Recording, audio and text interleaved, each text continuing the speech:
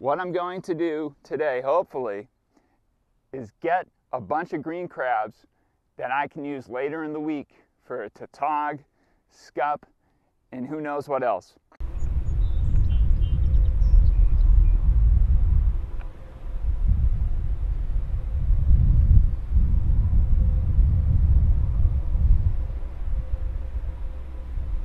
What I'm using for bait today is frozen mackerel. I have a little steel cage here. I also have a rock that I zip tied to the bottom of the trap to help keep it on the bottom.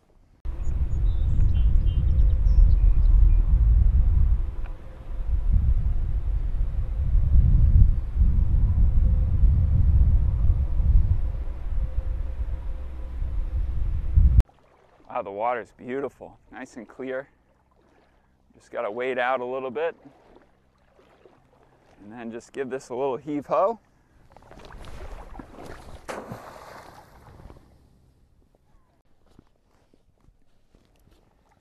And now we wait.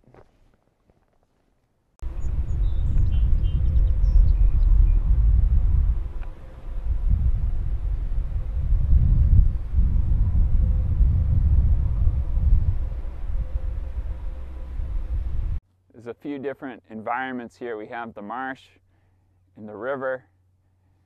We have a barrier beach behind me, which is protecting this estuary. And over many hundreds and hundreds of years, the beach behind me was built up by the currents, shifting the sand, building the beach, which allowed this marsh to flourish in the protection behind that barrier beach. All right, so this has been sitting for about an hour. Let's see if we have anything in it. As you can see, the tide has come in quite a bit. So let's see what we got here. Oh, I can already see there's some in it. Sweet, there's some big ones in there too. Lots of little ones that are falling out, but some real nice big ones in there.